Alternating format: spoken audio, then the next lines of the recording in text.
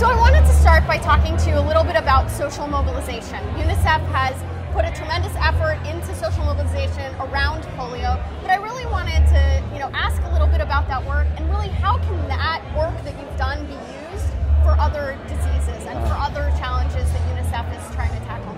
No, it's absolutely crucial, uh, and we did it. I don't mean we UNICEF. I mean all of us in this great partnership.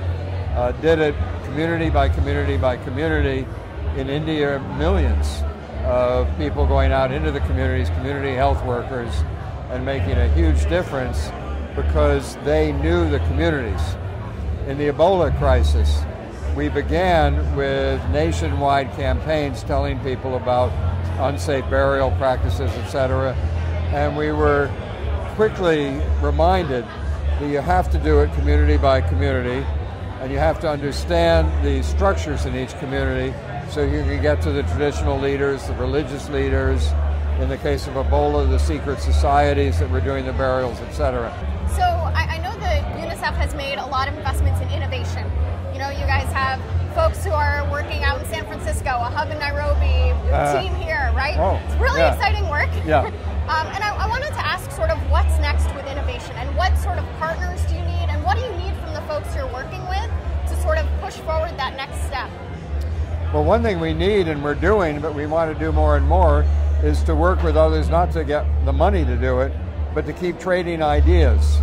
And then taking existing technologies and adapting them to community action and to the kinds of things that we need to do, which means working not just on how you can adapt the cell phone, which is right now helping us on in Pakistan and Afghanistan in uh, helping to track uh, cases in the reach, uh, hard to reach communities, uh, but also then, uh, and I'm very, very interested in this, in getting the manufacturers and those who are uh, putting together the programming on the cell phones so that we don't have to put the apps in ourselves, but they'll be start putting the apps in because it's helping them then expand their own cell phone uh, coverage in these in, uh, countries. I know this is a really interesting period with the SDGs having been adopted. We're getting ready for them to take into effect, you know, January 1. What, what is that going to mean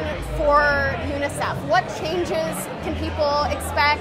How are you sort of working um, within and across your teams to, to tackle these issues? Yeah. And what, what, what will people see?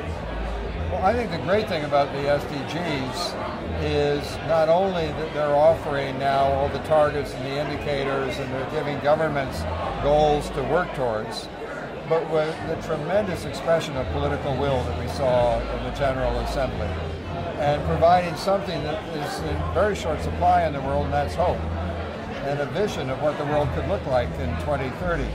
So for us, it's a great opportunity, and we're already doing it. We're not waiting for January 1st to go in with governments and to say, we want to help you put together your goals, we want to help you with your programs, and also to work all the more with NGOs around the world, both international NGOs and local NGOs, to say, let's come together and UNICEF will join with you, not trying to tell you what to do, but join with you in movements that can both help governments work in the communities, in the tough communities where we have to go, but also hold governments accountable then for meeting the commitments they made in September at that wonderful moment uh, in New York.